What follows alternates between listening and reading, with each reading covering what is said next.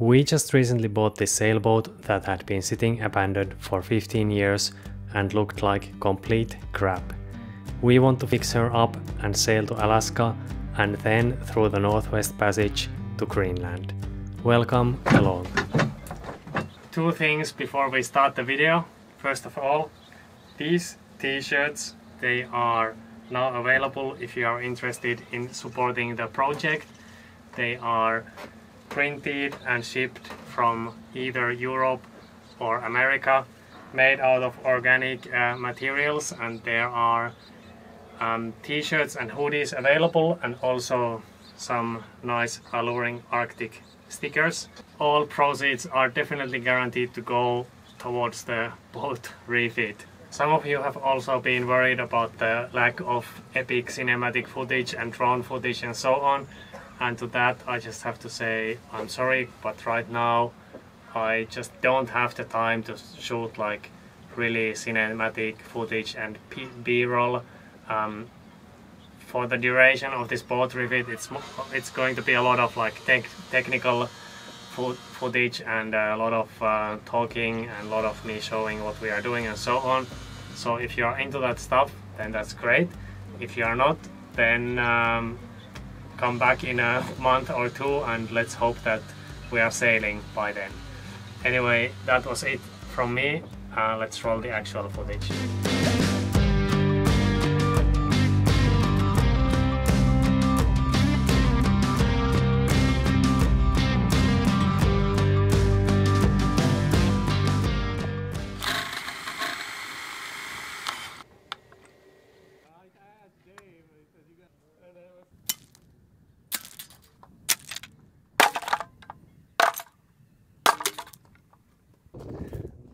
All right, the mast is down and we do have a problem, or actually we have several problems.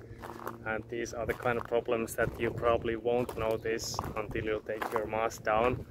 And a lot of older boats are gonna have these. So first of all, everything was literally covered in bird poop.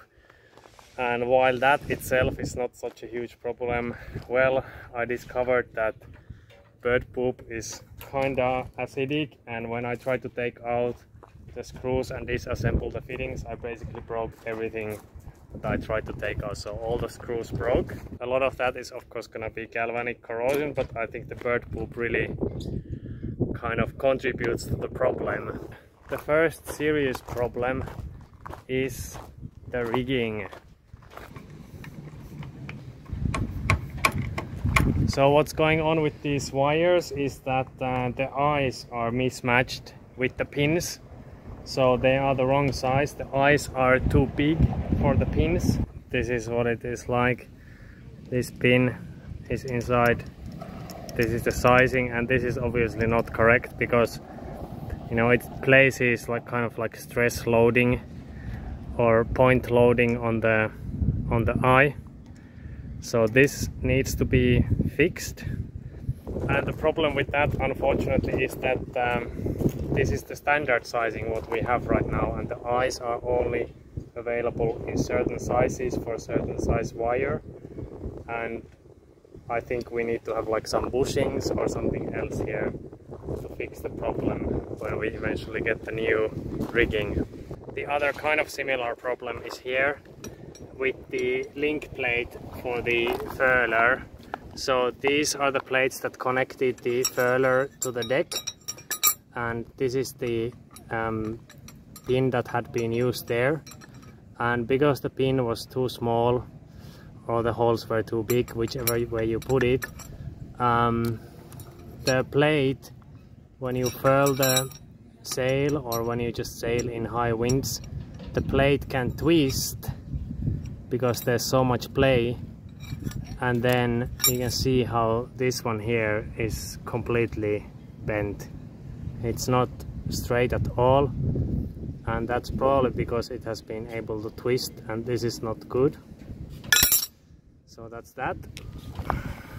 Another thing that's kind of completely screwed up is the wiring and this was a bit of a surprise to me because uh, the wiring looked okay before I started taking things apart a little bit. Wiring was kind of hidden behind the lights and uh, partially pulled inside the mast.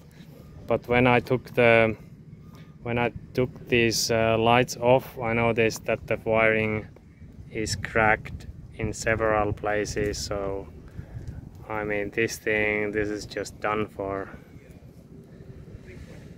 There's no saving this so the wiring needs to be changed and at the mast top the wiring looked good as well until I took the mast top off that's when I discovered that the wiring inside is uh, also not so great. So this is definitely not good because if it this comes in contact with the mast then you're gonna have some blown fuses and things shorting out. This wire here is also completely screwed and this one has just shaved against the halyards I think. Most of the wiring in there it runs inside conduit so that's gonna be fine. I just need to run some new wires here. While I'm busy with the mast, Sohvi is once again doing the actual hard work sanding the rear daggerboard.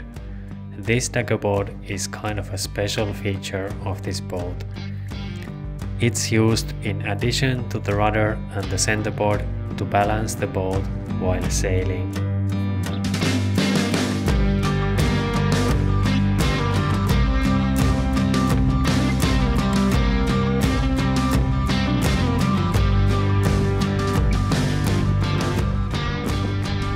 And once done with the daggerboard, Sohvi continues with the demolition derby inside the boat.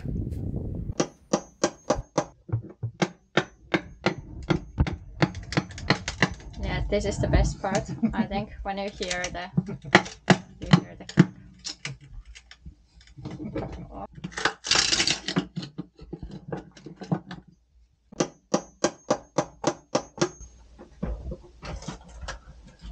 Yeah, we are taking off the uh, glass fiber, fiberglass, which is here as well. It's in Finnish, it's glass fiber, that's why I mixed up of them.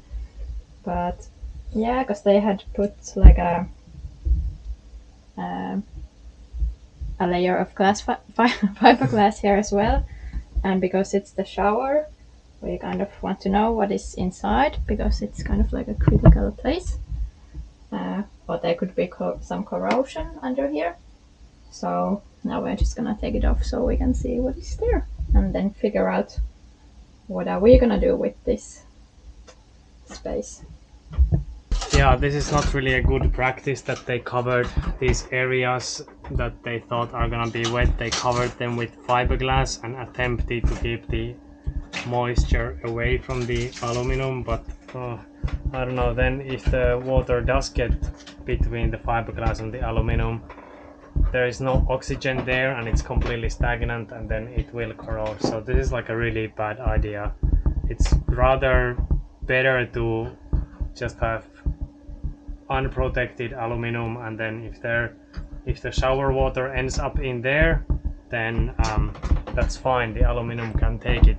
But if it's uh, covered with fiberglass then it can really create some problems.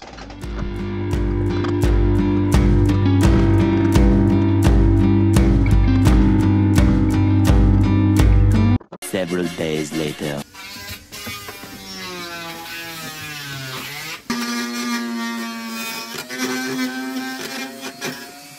Sohvi's fourth day of sanding the what used to be the shower sump. Yeah, yeah, it feels kind of pointless, but at least we know now what is inside here, which is nothing. Yeah. which is good, of course. But this one is a little shitty because it had uh, fiberglass, but also some epoxy, so it's like really, yeah shitty to take away. Yeah, we found some moisture under the AC between the fiberglass and aluminum, but here there is no corrosion. Nothing. So it was four days well spent. And it's not done yet. and it's so. not done yet. So. yeah. Have fun with the rest of it. Thank you.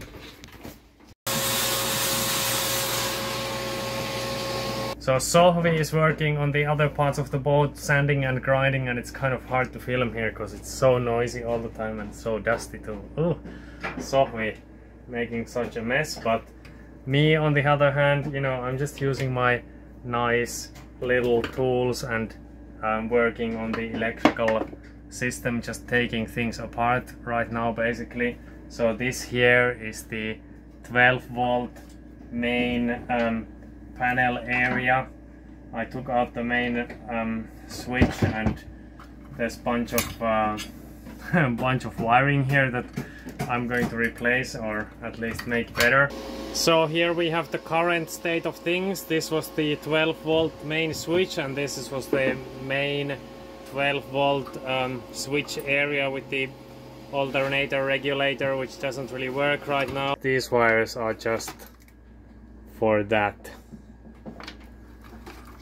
pretty nice. So I'm taking most of this out. And then over here the main panels uh, currently they look like this. These are actually not that bad. They could be even worse. And I have just been tracing wires. And once I figured out um, where each wire actually goes and what it does then I mark it.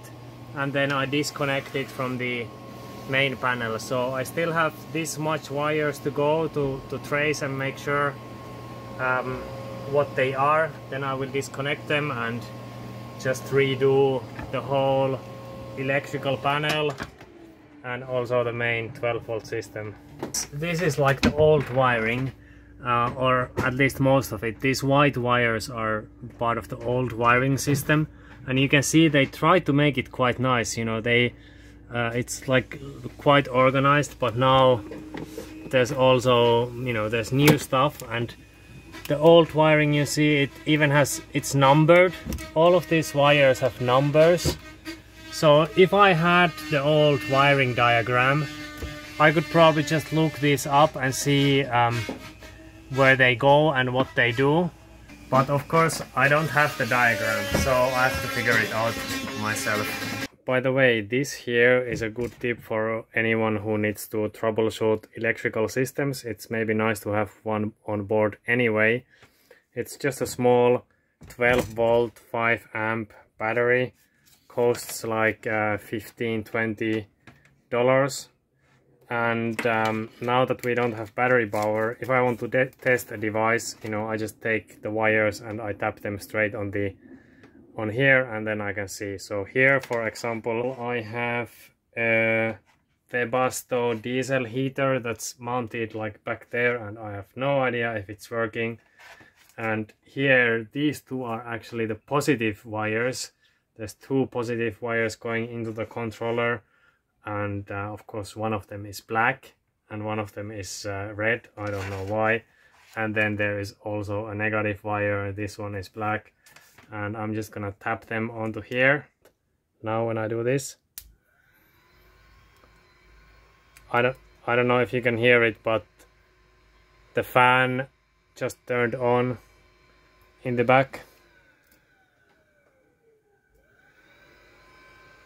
So it's working. I don't know if it's gonna heat anything but at least the fan function is working